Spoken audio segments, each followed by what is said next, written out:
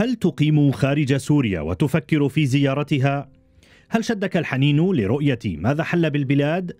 وهل تعرف أن قرارك وعدمه سواء في حال لم يتيسر لك تاجر فيش لعيب ينظر في أمريكا على أجهزة الحكومة إن كنت مطلوبا لها أم لا؟ موقع تلفزيون سوريا يفتح ملف تجارة الفيش في مناطق سيطرة النظام ويتتبع خطوط البحث عن الأسماء وطريقتها والسماسرة المشتغلين بها والفروع الأمنية التي حولت حواسيبها إلى خدمة معروضة سرا يحصل عليها من يدفع أكثر. خط الرحلة يبدأ من هنا. تبدأ رحلة المغترب أو المهجر بالبحث أولا عن موظف حكومي يفضل أن يكون أمنيا أو مقربا من الأجهزة الأمنية ولديه القدرة على الدخول في المعترك باتفاق مسبق مع قادة أجهزة المخابرات ولقاء خدمة أن يرى إن كنت مطلوبا أم لا. تدفع أموال تختلف بين جهة وأخرى فالسعر يحدده مستوى الفيش والنافذة التي يبحث عنها.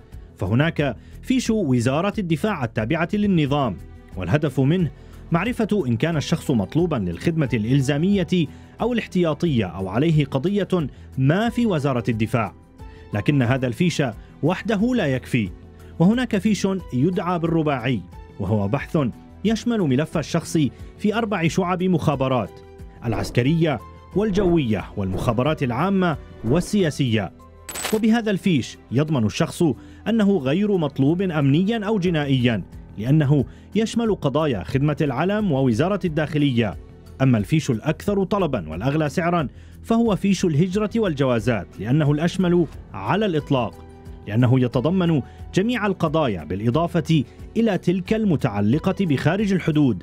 مع ذلك لا يعد الفيش كافيا وآمنا لأن السمسار لن يقدم لك أي ضمان بعدم الاعتقال أو الملاحقة. التسوية لا تعفي من زيارة الفروع. يضيء تقرير تلفزيون سوريا على جوانب أخرى للزيارات وهو الطريق المؤدي إلى السفارة أو القنصلية السورية في بلد إقامتك من أجل إنجاز ما بات يسمى بتسوية الوضع خاصة إن غادر من منافذ لا يسيطر عليها النظام. لكن تقديم هذه الطلبات أو حتى معالجتها في الخارج قبل الوصول إلى البلاد لم يعفي كثيرين من اعتقالهم أو طلب مراجعتهم للفروع الأمنية رغم تسوية أوضاعهم وهو ما أكده أحد دبلوماسيي النظام قبل أن تؤكده التقارير الحقوقية المحلية والدولية بأن أجهزة الأسد اعتقلت عشرات العائدين بينهم من خضع للتسويات أو المصالحة بين قوسين. مدن كاملة بحاجة إلى كف بحث.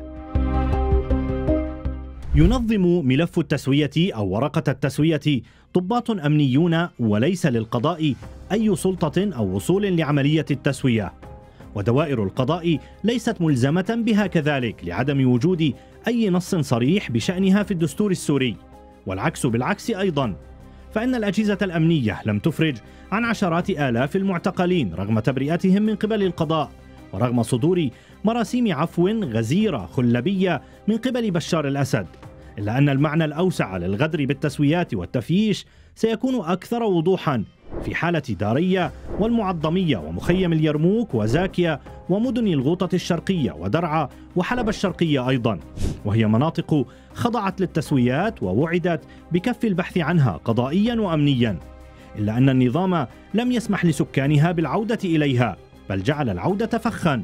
يسقط فيه من يصدق الحكاية ويذهب بقدميه إلى مقر حكومي للمشاركة في حفلات التسويات ليجد نفسه مكبلا من أعلى إلى أسفل مقادا نحو فرع أمني. حوله القائمون عليه إلى مركز تجاري للتربح والابتزاز تزامنا مع وظيفته الأخرى الإخفاء القسري والقتل.